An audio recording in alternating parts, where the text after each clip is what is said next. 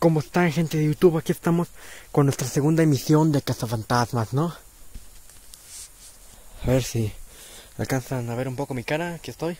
Yo no soy el fantasma y bueno, medio monstruo, pero aquí estamos, ¿no? A un agujero, allá, lleno de basura. Y no sé qué más. Miren, ¿qué es eso? Unas plantas.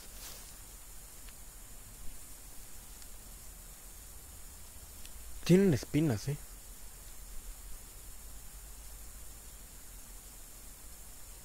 Ahorita pues la mente te juega un papel importante, ¿no? Pues porque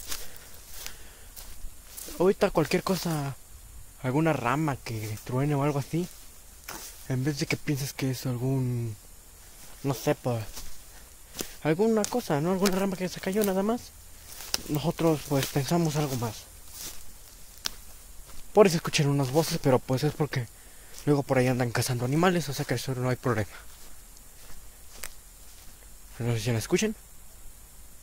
Y ruido de una motosierra. De gente que anda talando árboles ilegalmente.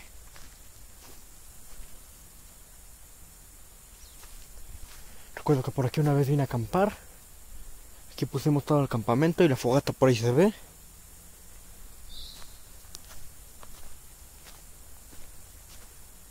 Órale, aquí está impresionante. Ok. Wow, neta que me gusta aquí caminar, ¿no? Porque el bosque es uno de los lugares más hermosos que hay en toda, todo, en todo el mundo. Y no salir a caminar en la tarde no le veo el por qué no. Después de todo es un bosque. Si uno no tiene miedo, pues no pasa nada.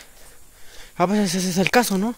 Uno está súper asustado, haciéndose ideas que no son, aunque en realidad no haya nada. Creo que a veces esa es la explicación de muchos fenómenos paranormales, ¿no? No, no hay nada y uno se hace unas ideas, ¿no? A veces son por cualquier situación o estado, ¿no? Que hay, gente que anda borracha en los bosques, aunque no lo crean aquí.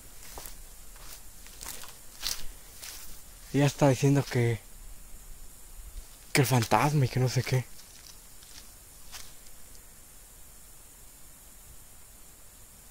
Ok. Finalizamos aquí.